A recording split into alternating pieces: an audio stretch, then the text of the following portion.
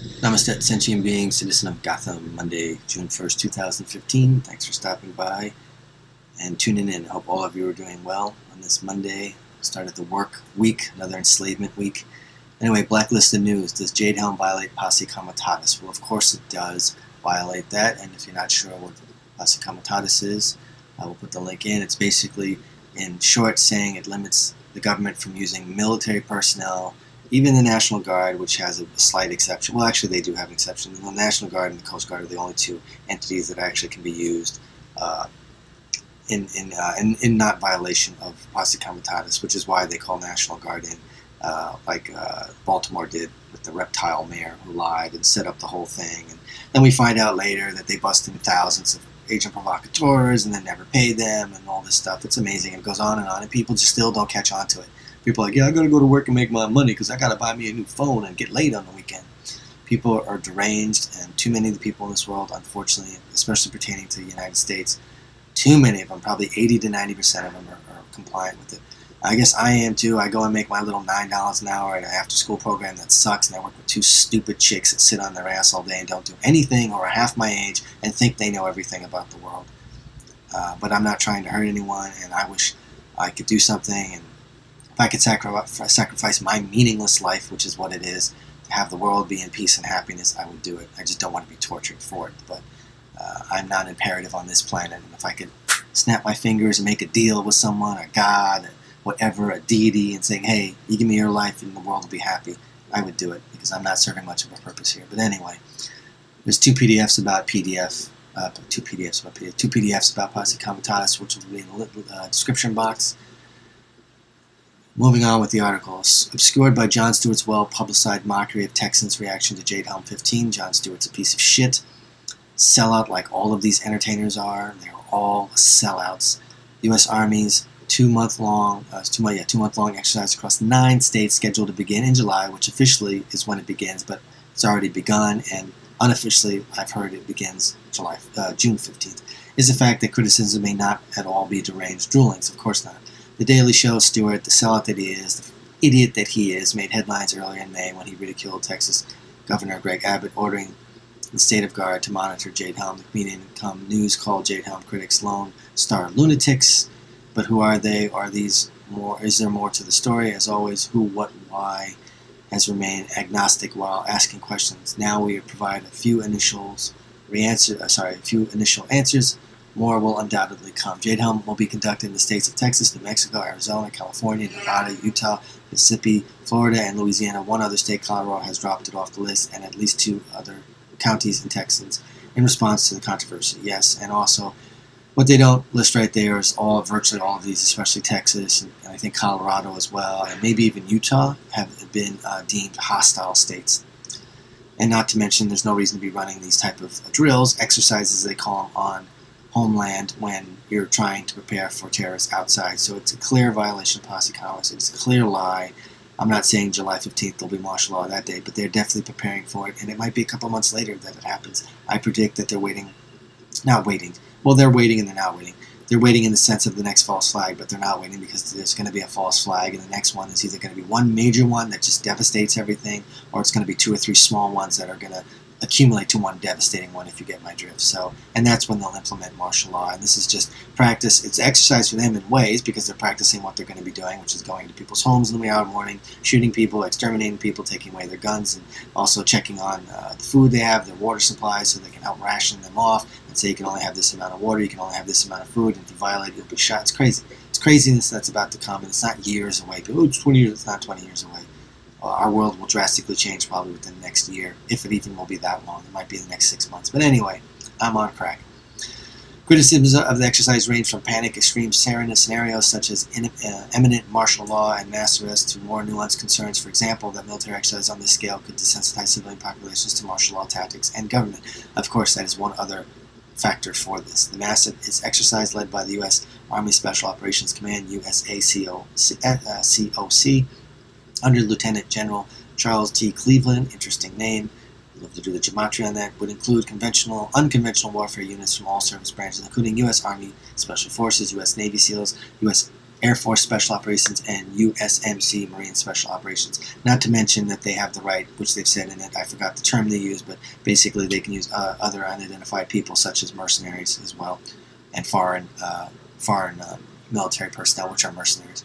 According to Jade Helm 15, official PowerPoint presentation, other participants units are USMC Marine Expeditionary Units, the Army's 82nd Airborne, which are involved in every damn thing. At last but not least, civilian interagency partners. Those are private uh, agencies such as Blackwater and um, whatever the other one was called back in 2001. There were a couple of them. But anyway, the latter refuses to range, which are mercenaries. The latter refers to a range of domestic law enforcement agencies, including FBI, DEA, and Department of Homeland Security, DHS. Uh, one contingent, contingent special operations is a particular interest. Special operations units are highly trained elites that specialize, among other things, in assassinations and extractions on human targets. In 2013 article titled Five Takeaways from the United States Special Ops Raids in Somalia and Libya, published by the Washington, D.C. based Defense Trade Journal, DefenseOne.com. Anal- analysis heaped praise upon small multi agency task force led by Joint Special Operations Command, JCOC. JSOC, excuse me, that target individual terrorists and insurgent leaders for depth or capture. That's also referring to probably Obama's assassination this December. Not going to digress. Infiltrating towns and cities. Jade Helm, present, presenter, sorry, has stated the troops will infiltrate towns and cities and rove among the civilian population, both in uniform and in civilian clothes. That also means, besides spying on people in civilian clothes, they will also be agent provocateurs, which people don't seem to catch on at all. And all of these stupid riots that are all set up, most of it is peaceful protest because that's what a protest is. It's usually peaceful. You're just talking, carrying signs, and babbling and trying to make a change, which most of the time doesn't happen. But you have these agent provocateurs that come in and will dress like civilians and start shit. And then, then you have now the ones that are all drawn out, I mean, more uh, dressed out in black and hiding their faces and all that because most of them are CIA agents. Some of them are Nazis, like in Baltimore. I, feel, I think they had some neocons there. But most of them, if not all, are CIA agents. And uh, some of them might be families of CIA agents where they're trying to prove themselves to get in or join a club or whatever and so it's all planted. So they're going to have these military special op people out of uniform pretending to be civilians who are going to cause bullshit because they're going to start shit and that'll get everyone into it and all they have to do is attack one person and then if a bunch of people jump in then the whole city or state will be on lockdown because of that and the person who started shit will run away and get a medal and get promoted and laugh his ass all the way to the bank. Roy Boyd, Chief Deputy of the Victoria County Sheriff's Office, told the Houston Chronicle they're going to set up cells and pe- people of people rather, and test how well they're able to move around without getting noticed in the community. They're testing their abilities basically to blend in with the local environment and not stand out and blow their cover. Well, wouldn't it be great if people actually paid attention, or if there was like uh, quote unquote like little militias, and I say like meaning as a comparative, where people banded together and said we're going to look for these pieces of shit, and when we find them, we're going to expose them, because that would eliminate them putting some, these these undercover ops these CIA ops in as civilians, pretending to be civilians. If they get pointed out, they will run and hide because they will be exposed, and that will stop it. But most people won't band together, but that's what people should be doing. Gathering together, trying to gain information, getting their little uh, I, don't, I wouldn't call faction, but they're little groups together where their job is to walk around and point out these people. When you see someone, you go, hey, he's, a, he's an agent, he's an agent, and then watch the person run away. Because if they're not an agent, they're not going to run away. If they're an agent, they're going to run away, they're going to get mad, they're going to try to do a fist fight. And also, if you go up to them and pull the shirt up and they have a little badge or gun on them, which I'm sure most of these are going to be carrying some type of ID on them, on, on the person, they might not be having a weapon because that'll be a little too obvious, but somewhere on their person, they're probably going to have some type of weapon. Not to mention, as officers, like meaning uh, police officers, especially in New York City, they have colors of the day when they work undercover so they don't get shot, which all precincts are supposed to know, whether it's green, orange, yellow, pink, brown, whatever color it is, or they'll also have key phrases so that alert other officers that, hey, this is another officer, they're undercover, don't shoot this person and they still sometimes get shot. So there'll be keywords and key colors that they will use, but that should be exposed as I just digressed about. Elaborating further, Thomas Mead, the contractor hired by USACSOC, in a presentation to Big Spring, Texas City Council in March that Special Forces operators, as Special Force Ops soldiers are called, will enlist local role players as informants. Mead told the City Council that operators will be looking for someone who gives a little nugget of information for them to build an intelligent picture. Well, that's a bunch of bullshit. We're trying to profile people, and that's discriminatory by nature. If these kinds of activities uh, activities resemble counterinsurgency that set Jade Helm apart from the previous exercises that the Army cites as similar to Jade Helm, this argument hinges on what is meant by similar. The scripts in those previous exercises called for special ops operators to assist local insurgents or freedom fighters in resisting tyrannical authorities. In Jade Helm, the U.S. operators will apparently be working to suppress any insurgency. This will involve activities more in keeping with law enforcement, such as information gathering from locals, moving about undercover in communities, and assaults on selected targets. Residents have been told to expect increased aircraft in the area at night. Well, isn't that great? That's also shock and awe. that's going to be bothering people. It's just getting them used to what's going to come. Overall, totalitarian state under martial law, under military in the guise of security. Critics of Jade Helm note that the military is not intended nor designed to function as law enforcement body and that soldiers are not trained to evaluate the legal nuances of probable cause or to safeguard the rights of civilian detainees. That's true, but cops don't give a shit about that either. So again, it is a violation of posse comitatus. Is this something new? Stewart and other influential media figures, the piece of shit that he is, has assured the public there's no basis for the concern because similar exercises have been conducted for years without any undue harm. That's a lie, and I hope that when it does go into effect, which I'm not hoping it does, what I'm saying is when it does go into effect, I hope they break down his door and shoot put a gun up his asshole and blow his little brains out. OP's the first person to get screwed over so he can eat his words. And then if he gets put in a tournament camp, if I ever see him, I'm going to knock the living shit out of him. But anyway, one exercise just recently concluded in May took place in Richland, some South Carolina. In it, the third Special Forces group out of Fort Bragg, North Carolina, trained with Richland County deputies for two weeks in late night and pre-dawn exercises. WLTX 19 News relayed the Sheriff's Department message that residents should not be alarmed at hearing ordnance being set off or shots being fired. Yeah, don't be alarmed that we're going to be murdering your civilians, your fellow civilians. It's crazy. They're going to use smoke bombs. They're going to be going in the wee hours of the morning doing raids, SWAT style, and they will be carrying live ammo and shooting people that resist or who grab their guns. And they do not have any worry about that. They actually, most of these people are, have a hard on for that. They're hoping that happens. Like most of these crazed cops, these psychopath cops, they get actually excited almost to a sexual uh, extent about what they're doing. sickness. Even the South Carolina exercise passed virtually unnoticed why Jade Helm setting off so many alarm bells. It's, it's business as usual, a practice for the martial law. As Jade Helm critics contend, what makes Jade Helm different from previous military exercise carried out on U.S. soil. Well, there weren't that many exercises, if any, that I can remember that were carried on U.S. soil, so I don't know what they're referring to. This is where the information is flying fast and furious. In his presentation in Big Springs, USACOSOC contractor Mead acknowledged that the exercise is actually the first of its kind, which is what I just said, so I don't know what they're referring to about other exercises on, on human on uh, United States soil. He told the audience that the closest he would come to identifying an operation somewhat resembling Jade Helm, Jade Helm is the Army much smaller annual exercise known as Robin Sage. In Robin Sage, the People Republic of Pineland, it's a fictitious county spawning, spanning 15 counties in North Carolina where U.S. Special Forces soldiers seek out insurgents played by actors who, for the purpose of exercise, are treated at, as the U.S.-backed freedom fighters. Special Forces set up base camps in these fighters with the goal of liberating Pineland as such.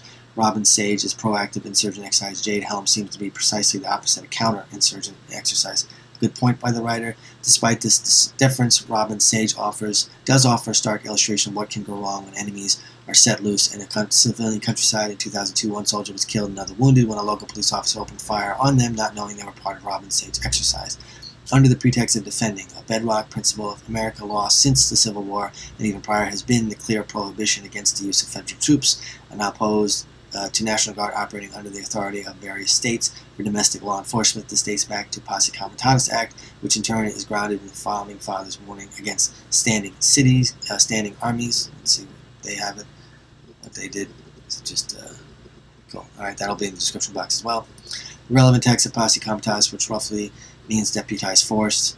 Uh, reads as amended in 1956. Whoever, except in cases and under circumstances expressly authorized by the Constitution or Act of Congress, willfully uses any part of the arm, Army or of the Air Force as posse comitatus or otherwise as execute laws shall be fined under this title or imprisoned not more than two years or both. Posse comitatus does not preclude the military from conducting exercise on civil soil, which, as detractors of paranoid Texans point out take place all the time. The law does, however, prohibit the U.S. military from engaging in direct law enforcement activities. This would certainly include the capture of U.S. soil of U.S. citizens suspected of breaking the law in any way, shape, or form. Interestingly, uh, as an institution, the United States military seems to agree with and abide by the spirit of Posse Comitatus in 2001 paper for the School of Advanced Military Studies at Fort Leavenworth, Kansas, to Posse Comitatus, a 19th century law worthy of review for the future. The author reads, the desire to separate the military from policing, policing sorry, activities within the U.S. can be traced back Traced to the very origins of the Republic itself, the perception is that a standing military force attempting to enforce civil law allows for despots to retain power by force of arms rather than by consent of the governed, of course. The author of U.S. Army Major concludes that there are still today many good and valid reasons behind the Posse Comitatus Act in referring to the origins of the Republic. The Major may have had in mind, James Madison, founding father, uh, vociferously distrustful of large standing armies, Madison wrote, Throughout all of Europe, the armies kept up the, under the pretext of defending have enslaved the people. In Jade Helm 15, a litmus test of success will be how well special force operators move about within civilian populations without being noticed, or at least calling too much attention to themselves. We're able to no notice our guys were probably doing something wrong, Mead the U.S. contractor told the big screen. I saw this guy when he did that interview. He's like a 300 pound, six foot five, six foot seven uh, reptile. He's enormous, anyway. In the Big Spring City Council meeting, residents were told to expect activity to occur between 11 p.m. and 4 p.m. during the question and answer period to, to a packed house. An assistant to Mead revealed we come to doing the hit and extracting.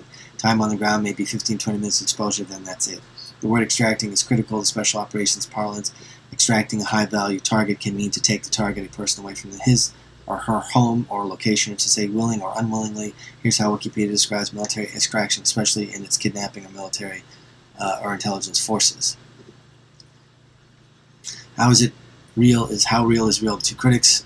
Uh, one of the most disturbing aspects of exercise is USA's uh, USA SOC's uh, sorry, yeah, SOC's uh, openly stated des desire to conduct conduct the exercise in a realistic environment. In recent years, humans humans. Hundreds of millions of dollars have been spent creating realistic facsimiles to foreign towns and even small cities on military bases in the United States. The purpose of this program is to give soldiers a taste of what they might incur during urban warfare operation overseas. Well, then they shouldn't be practicing it here, right?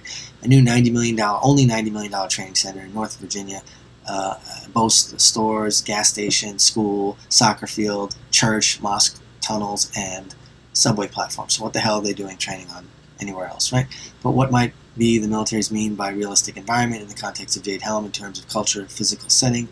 Uh, only English-speaking American resembles English-speaking America as concerned residents of one of the towns affected small towns, uh, one of the affected small towns in Texas told a newspaper, what place looks like this except this. Put another way, special ops were to prowl the coffee shops in North Korea, Ukraine, or Tehran, questioning locals for information. They would be rounded up within an hour so, as Jon Stewart might have asked if he had looked a little deeper into Jade Helm scenario. Who is America fixing to invade? Canada? Are Texans crazy? Texas uh, reticence is uh, surprising the state would seem to be the last place in the U.S. United States to emerge as the center of resistance to Jade Helm. Its gun-friendly culture is hardly averse to American militarism. The state has one of the highest concentrations of military personnel in the nation. Uniforms are everywhere. That's one of the reasons why they're doing this. In the airports and in the towns, the state hosts two of the largest military bases in the United States, Fort Hood and Fort Bliss in Texas. Everyone knows someone in the Army. Those who mock the governor's decision ordering the Texas state guard and mon to monitor Jade Helm would no doubt question the relevance of Madison's warning about standing armies, the ca uh, cautionary language of the Posse Comitatus Act, particularly in the era of endless war on terrorism. But the very definition of tyranny, or tyranny rather, is the deployment of the army intended only for foreign wars against its own people, and if Jade Helm is not a deployment but an exercise, then critics legitimately ask, what is an exercise ex for, except to prepare for some realistic eventuality, which arises even more uncomfortable question and should practicing for something illegal in itself be illegal. So there's the act. The article goes on more. I'm not going to read the whole thing because it'll be another 20 minutes. But anyway, uh, you just have to read the last third of the article if you're still paying attention. The description, I mean, the links will be in the description box about Posse Comitatus. Crazy stuff. We should not be allowing it, but we are. Anyway, be well, stay balanced. Namaste.